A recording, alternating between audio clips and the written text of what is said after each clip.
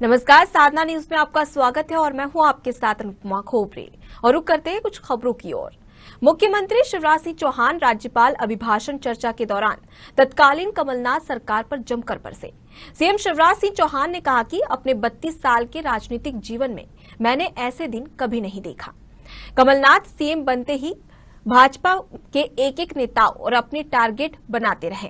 कमलनाथ ने सीएम रहते हुए किसानों का कर्ज माफ़ नहीं किया। कर्ज माफ़ी की आस में बैठे लाखों किसानों को बैंक ने डिफॉल्टर घोषित कर दिया। बता दें कि सीएम शिवराज सिंह चौहान ने सदन के ज़रिए किसानों को बड़ी सौगात दी। बहुत प्रसन्नता की बात है कि आज माननीय मुख्यमंत्री जी ने सदन में घोषणा की। जब कांग्रेस की सरकार आई थी और उन्होंने वचन पत्र में किसानों के साथ छलावा किया था और किसानों का कर्जा माफ़ करने की झूठी घोषणा की थी।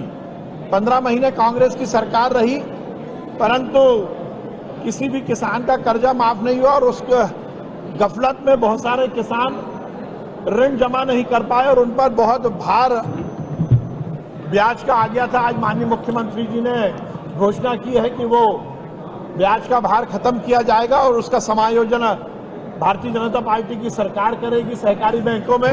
ये निश्चित रूप से किसान हितैषी सरकार का एक बड़ा फैसला है। उसके साथ ही कोविड काल में जो बिजली के बिल स्थगित किए गए थे, उसे पुनः जो वसूला जा रहा था, वो भी अब रोक दिया गया है और कोविड काल के जो भी हमारे गरीबों के बिजली के बिल हैं वो माननीय मुख्यमंत्री जी ने पूरे खत्म कर दिए ये बहुत बड़ी घोषणा आज माननीय मुख्यमंत्री जी ने सदन में की है। मैं उन्हें बहुत आभार व्यक्त करता हूँ। विधायकों की विधायक निधि भी तीन करोड़ रुपए कर दी है। उसमें पचास लाख का स्वेच्छानुदान रखा गया है। आज मुख्यमंत्री जी ने अपने भाषण में भारतीय जनता पार्टी की जिस प्रकार की आत्मनिर्भर मध्य प्रदेश बनाने की जो परिकल्पना है और संकल्प है उसको दोहराते हुए ये सुनिश्चित किया है कि हम जनकल्याणकारी राज्य स्थापित करना चाहते हैं। समग्र विकास और समेकित विकास, समाज के हर वर्ग को पूरी तरह से विकास की मुख्य धारा में जोड़ना यही हमारा लक्ष्य है।